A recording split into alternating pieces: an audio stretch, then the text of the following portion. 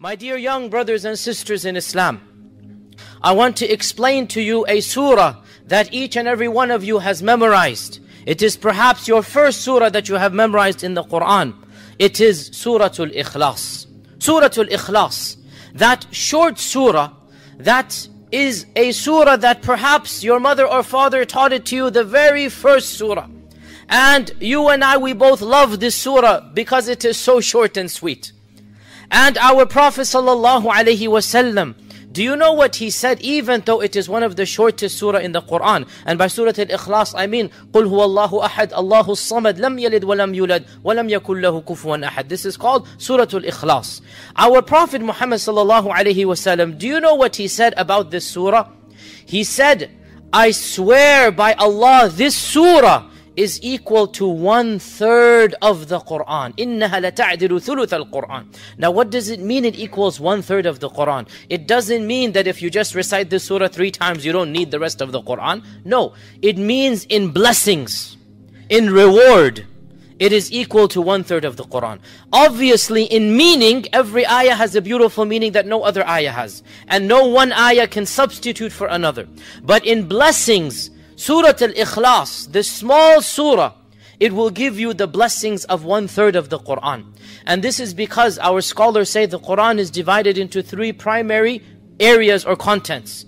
One third of the Quran deals with Allah and His names and attributes. Who is Allah? And that is summarized in Surah Al-Ikhlas. One third of the Quran deals with the laws, the halal, the haram, eating and drinking, prayer, zakah, Ramadan. That's one third of the Quran. And then one third of the Quran, it deals with heaven and hell and the stories of the prophets. And therefore, one third is Allah subhanahu wa ta'ala, one third is the laws, and one third is the qasas of the past and the future, which is heaven and hell, and the, the stories of the previous prophets. So Surah Al-Ikhlas, it substitutes for one third of the meaning of the Quran.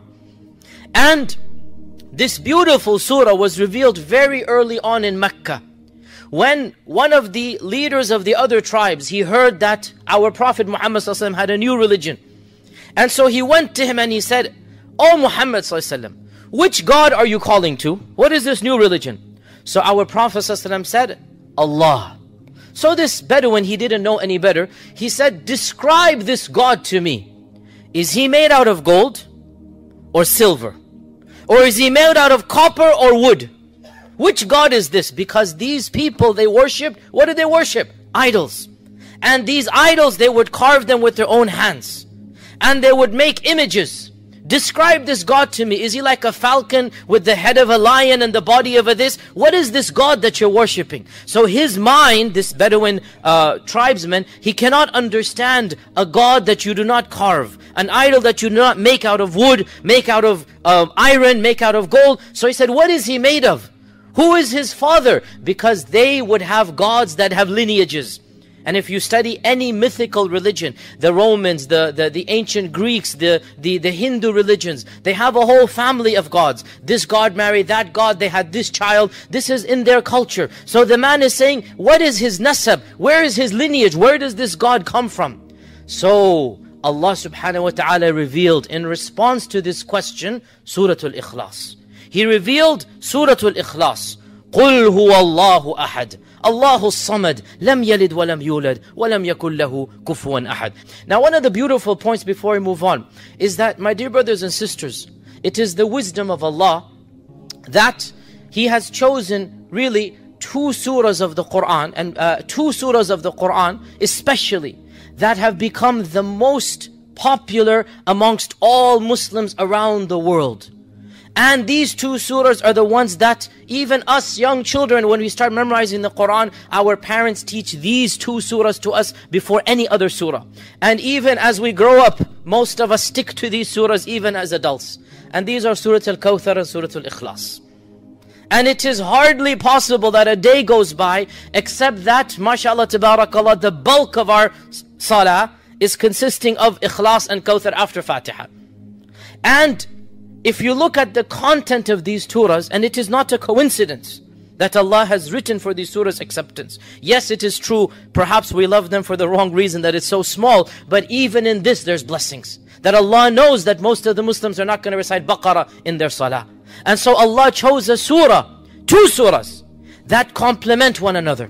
And these two surahs, as we said, are Kawthar and Ikhlas. Now, Surah Al-Kawthar, إِنَّا أَعْطَيْنَاكَ الْكَوْثَرَ فَصَلِّ لِرَبِّكَ وَانْحَرْ إِنَّ شَأْنِكَ هُوَ الْأَبْتَرُ this surah is defending the honor of the Prophet Muhammad sallallahu alaihi wasallam. And Ikhlas is defending the honor of Allah subhanahu wa ta'ala. Ikhlas and Kawthar put together are our religion. La ilaha illallah Muhammadur Rasulullah. Surah Al-Ikhlas is all about the perfection of Allah. Surah Al-Kawthar is all about the perfection of our Prophet Muhammad sallallahu alaihi wasallam. And these two surahs are the most beloved surahs to young and old, to man and women, to practicing and not practicing. Everybody knows, everybody memorizes, everybody loves these surahs. And even in this, there's wisdom from up there. That Ikhlas and Kawthar complement one another. Also, my dear brothers and sisters, do you know that Surah Al-Ikhlas was the surah that our Prophet ﷺ read as soon as he woke up? And it is the last surah he read before going to sleep. How so? Because what is the first prayer that you pray as soon as a practicing good Muslim he wakes up? He's supposed to pray the Fajr prayer, but before the Fard of the Fajr, there's two Sunnahs of the Fajr. Right? And what did our Prophet ﷺ make it a habit to pray in the two Sunnahs of Fajr? Surah Al-Ikhlas and Surah Al-Kafirun. As soon as he woke up for Salat al-Fajr, you have two rak'ahs you have to pray. He made it our sunnah and to this day this is the sunnah. That the Muslim wakes up, he does wudu and he prays two rak'ahs, sunnat al-Fajr. What does he pray in those two rak'ahs? Surah al-Kafirun, Surah al-Ikhlas. And then, the very last prayer of the night is the witr salah. And our Prophet ﷺ would recite Surah al-Ikhlas in the witr salah. So it is as if ikhlas begins the day and ikhlas ends the day. Not only this, our Prophet would recite ikhlas whenever he would do the tawaf around the Kaaba, which is the greatest act of worship, demonstrating the beauty, the perfection of Allah. And after he would do the tawaf, he would pray two. And in those two once again, ikhlas and kafirun. So Surah Al-Ikhlas is a surah that our Prophet recited many times. And he made it a sunnah to recite to us day in and day out. Literally day in and day out. And the meanings of this surah are very deep and profound. And wallahi, we can give hours and hours of lectures about just Surah Al-Ikhlas, but we only have 15 minutes. So let us summarize what are some of the elements of this surah that me and you, we can understand. My dear brothers and sisters, this small surah, despite its size. It summarizes for us our relationship with Allah. It summarizes for us what we believe about Allah. It summarizes what makes Islam different from every other religion in this world. What is our unique selling point, my dear brothers and sisters? What makes us different? It's our concept of our God. If you look at any other religion, they have a different concept of God. And we don't agree with that concept. We say Allah is unique, nothing like Him. We say Allah Azza wa Jal is a samad. He doesn't need anything. Everybody needs Him. And we say He doesn't have children, nor is He begotten. And there is nothing like unto Him. This beautiful summary of our Lord is why Surah Al-Ikhlas is so beautiful. And we conclude the first khutbah by mentioning one of the most sweetest ahadith about Surah Al-Ikhlas. And it is a hadith in which a companion of our Prophet ﷺ, he would lead the prayer. And every time he would lead the prayer, he would recite Surah Al-Ikhlas. He would recite Fatiha and then Ikhlas. And then he would move on to another surah. Until somebody in the audience got irritated. This was another masjid in the lifetime of the Prophet, a faraway masjid outside of Medina. So another companion got irritated. He said, Why do you always recite Ikhlas in every single rak'ah? The man felt, didn't want to answer. He said, I'm not going to answer you, but this is my habit. I'm going to recite Ikhlas. Somebody else complained. And he said, Look, if you want another imam, that's fine. But I will always recite ikhlas in every rak'ah. That's my methodology, my style. Eventually, a third man complained to the Prophet Muhammad He went to him in Medina. He said, Ya Rasulullah, our imam that has been appointed, in every single rak'ah after Fatiha, he recites ikhlas, then he moves on to a longer surah. Not that if he only recited ikhlas. He moves on to a longer surah. So now the Prophet ﷺ said, Tell him I am asking him, why is he doing that? He can't say no to the Prophet. ﷺ. Go tell him I am asking him, why is he doing that? So they went and they said, The Prophet Muhammad ﷺ is asking you, why do you recite Surah Al Ikhlas? Now he cannot get out of it. So he says, Because Ikhlas, Surah Al Ikhlas describes my Lord. And I love to read his descriptions.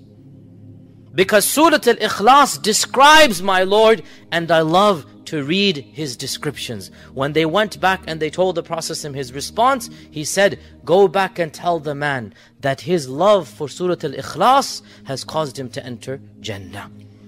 Now, my dear brothers and sisters, we also love Surah Al Ikhlas. But let us make our love for Surah Al Ikhlas not just because it is a small surah but because it is a surah that describes Allah.